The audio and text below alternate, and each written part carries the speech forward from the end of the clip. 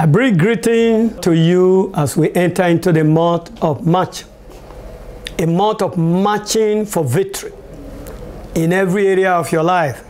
I just want to remind you of what the Lord told the Israelites.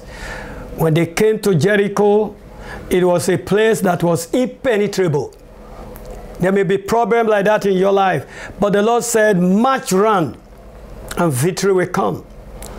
The month of March 2023 is a month of marching for victory in every area of your life.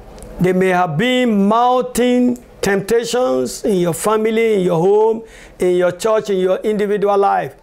But I want to tell you that God is going to give you victory as you stand up and march around those mountains.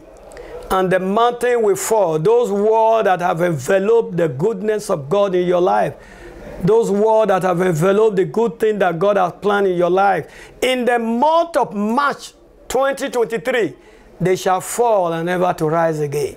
So stand up with joy in your heart and with glory to the name of the Lord who has given you victory. And let fear and intimidation of the enemy go behind you. For the Lord who has called you is holy. The Lord who has called you is mighty.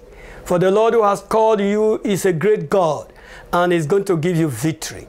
So you are going to smile into April and come with testimony. It shall be well with you in the name of Jesus Christ. Amen.